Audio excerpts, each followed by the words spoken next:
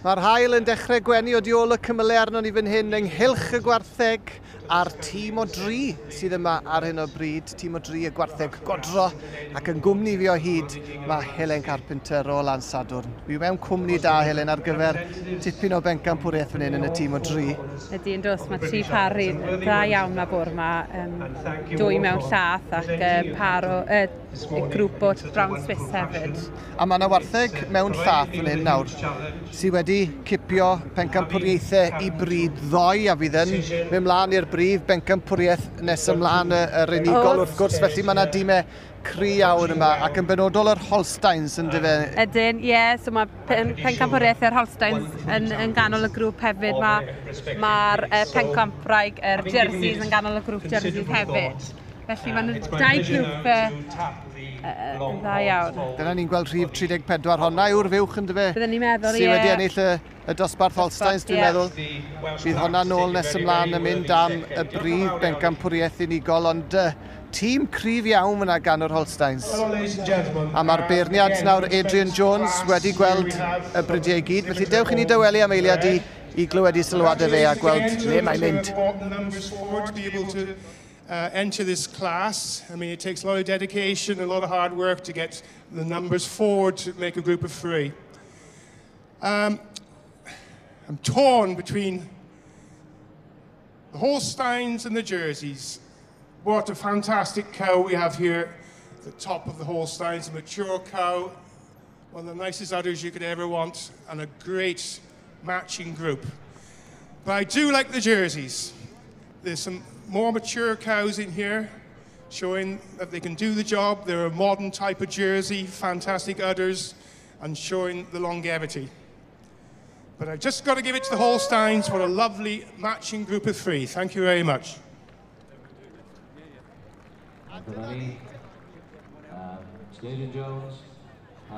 A dyna ni te'r Holsteins wedi mynd â hi yn y tîm o dri. ar fywch yna, dwi'n meddwl, ar y pen enillodd Pencampwriaeth yr Holsteins ddoi. Falle wedi wneud y gwahaniaeth? Falle, um, oedd e'n edrych am grŵp o anifiliad sydd yn cynnyrchu digon o llath, felly na beth oedd e'n heddi ydy, ond yn i'r resymau nath e weid bod hi'n bod hi'n um, a bod y grŵp ail agos iawn gyda fe. Ar fywch, chi'n ni'n gweld fyna nawr uh, 3.34, y fywch fawr yna. Mae honna fel wedes i, yn mynd i fod nôl nawr yn y benc campwriaeth, ond mae hon yn mynd i fod yn anodd iawn i'w chiro Helen.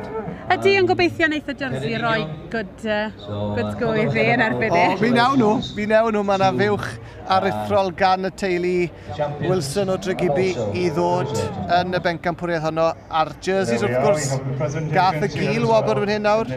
A mae yna dair jersey ardderchog yn fan hyn hefyd, dyna nhw. Mae nhw'n wych yn dyn nhw. Ydyn, maen nhw'n dangos gofynion y bryd ac yn dangos faint o llath nhw'n cynnal. Drychwch y cadeir. Oes, tair cadeir dda iawn yn undose. Anhygoel, llawn llath yn... Ond nhw'n i gario fe'n uchel ac yn llydan. yn Yna beth mae beirniad yn edrych am heddi yn dyfe? yw bod, nhw'n bod y dama yn cynnyrchu llath. Achos i ni clywed y beirniad yn gweud carrying mil high yn waid. Just esbonio chydig bach be mae hynna yn ei olygu wrth i ni weld y cadeiriau yna o'r high and wide yn uchel ac yn yeah, sydd bod, bod digon o llath lan yn uchel yn dyfe ac bod i yn mynd i cynnyrchu'r llath yna o top y gader. Dyna ni yn gweld cadeiriau'r Holsteins a'r gwythiennau yna sy'n mor bwysig, y wythien fawr sy'n mynd o dan y bol. Honna yw'r un bwysig. Dyna chi siot ardderchog fyna o'r unwedder Holstein a'r rheswm pam mae rhain sydd wedi cipio y bencampwriaeth heddi yn y tîm o dri. Gwartheg rhagorol yn edrych ar ei gorau, nid ar chwarae bach, mae cadw'r gwartheg mae mor ffres yn edrych cystal oriau o waith ac ymroddiad yn mynd fewn i hyn. A dod math nhw heddi am yr ail gwrnod, efe, ar ôl dangos ddo.